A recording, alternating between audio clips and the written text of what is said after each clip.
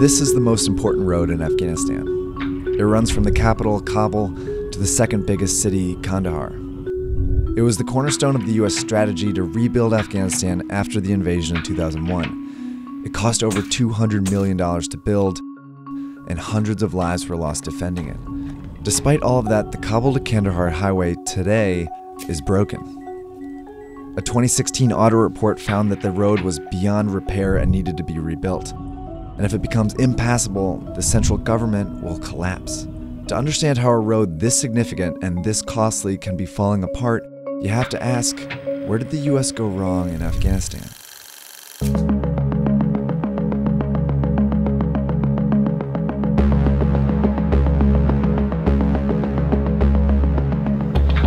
Just weeks after 9 11, the US invaded Afghanistan, where Al Qaeda had planned the attacks. They were sheltered by the Taliban, who controlled the Afghan government at the time.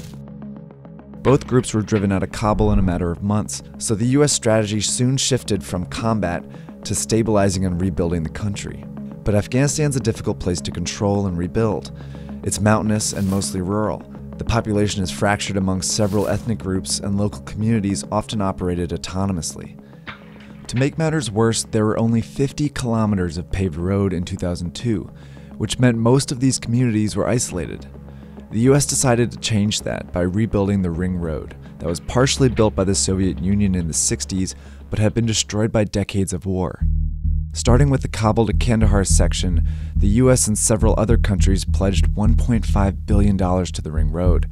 It would run in a 3,200 kilometer loop, connecting Afghanistan's four biggest cities, essentially tying these communities together. And it was showing promise. Trade circulated through more places, and medical services reached more people. It gave the new government in Kabul more legitimacy around the country. The Ring Road also allowed the US and NATO military to send troops and supplies around the country faster, so they could keep the Taliban in check. Where the roads end in Afghanistan, the Taliban begin. In other words, roads promote enterprise.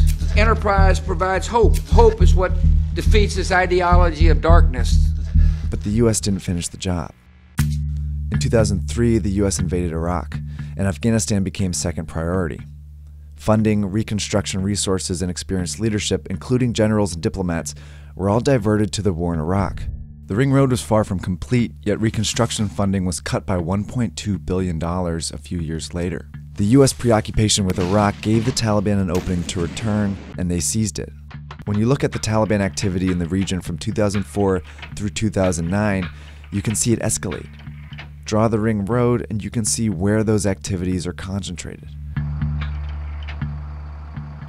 They set up ambushes, laid roadside bombs, took hostages, killed US soldiers, and road construction crews.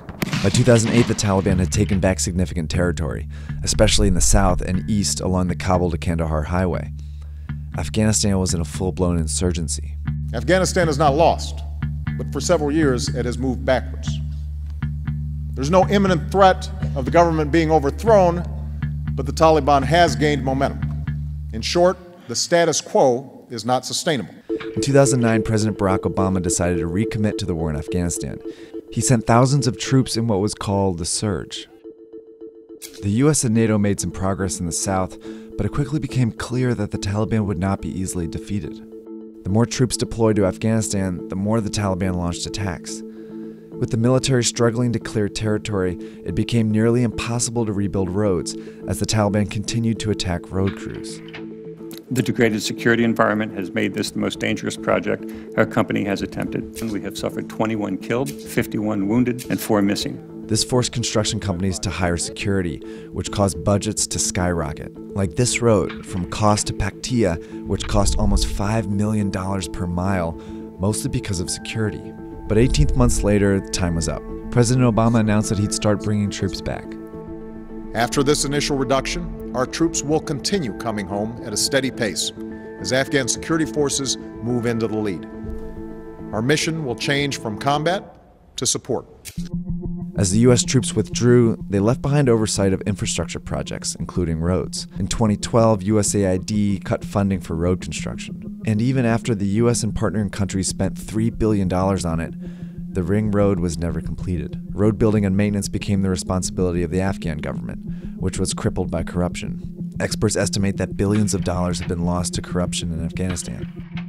In 2015, with only about 11,000 U.S. troops in country, mostly in the major cities, the Taliban swept back through Afghanistan. In 2017, they controlled almost half the country. That's more territory than they've had since 2001. And that includes large sections of the Ring Road. And that's one of the reasons why the road is in dire shape.